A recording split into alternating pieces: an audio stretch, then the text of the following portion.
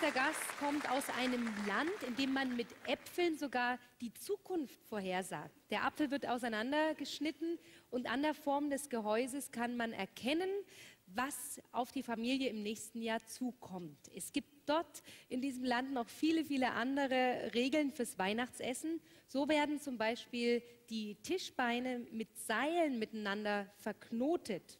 Warum das so ist, wird uns gleich dieses kleine Mädchen verraten. Und ich freue mich sehr, dass sie heute bei mir zu Gast ist. Herzlich willkommen aus Prag, Helena Wondratschkova.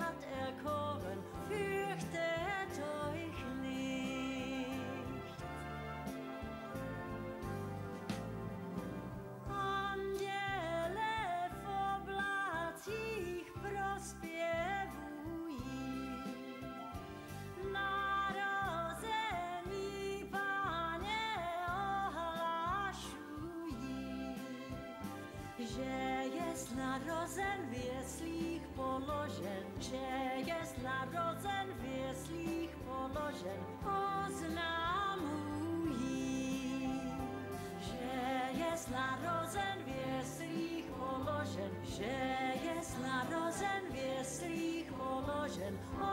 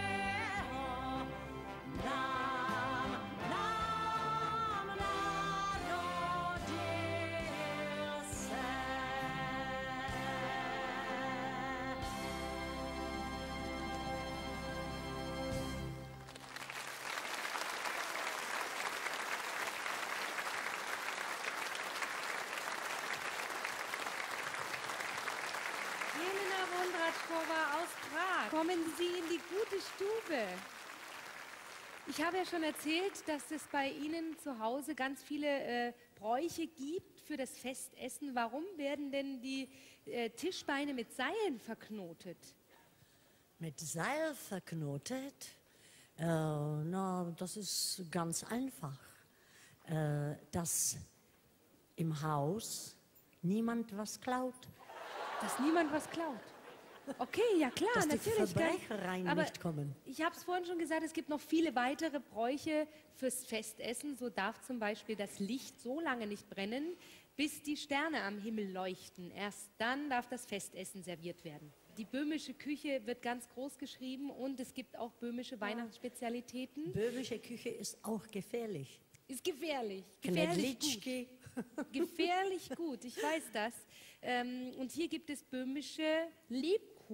Ja, äh, bei uns gibt es nicht nur diese schönen Lebkuchen, aber unsere Frauen machen also mindestens 24 Sorten ganz kleinen Weihnachtsgebäck und das ist eine Arbeit. Sie haben uns auch noch was Selbstgemachtes mitgebracht, nämlich diese Orange.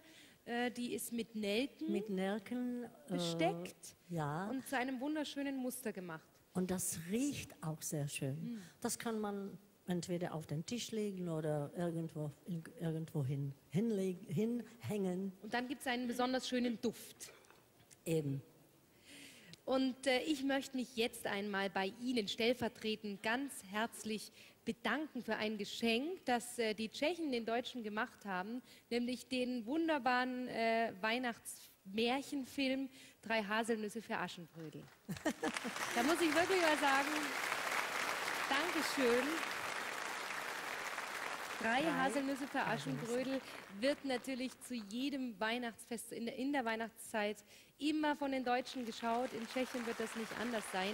dürfen nicht vergessen, gerade wollte ich sagen, die wunderschöne Musik von Karel Svoboda, ein Komponist, den ich sehr gut kenne, der hat auch für mich viele, viele Hits geschrieben.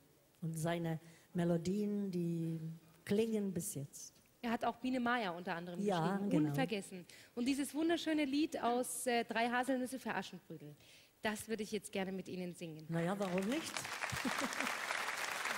Da holen wir den Florian nochmal mit seiner Zit- Zither dazu. Er begleitet uns. Dobrý večer. Dobrý večer.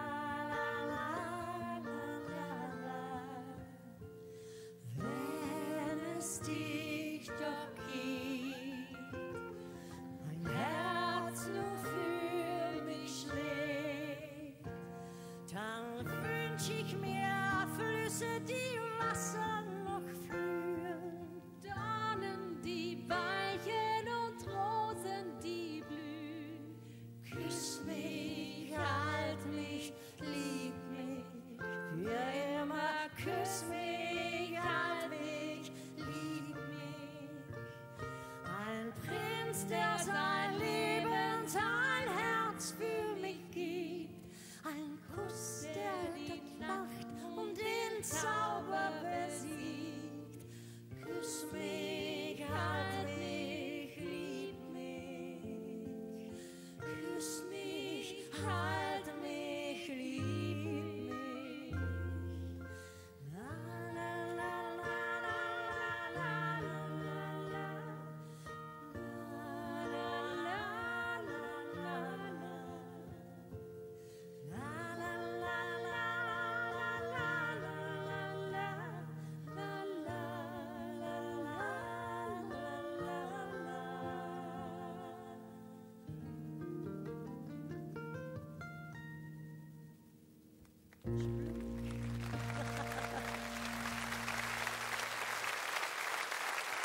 Ein großes Dankeschön an Helena Wondratschkova aus Prag. Vielen, vielen Dank. Danke vielmals.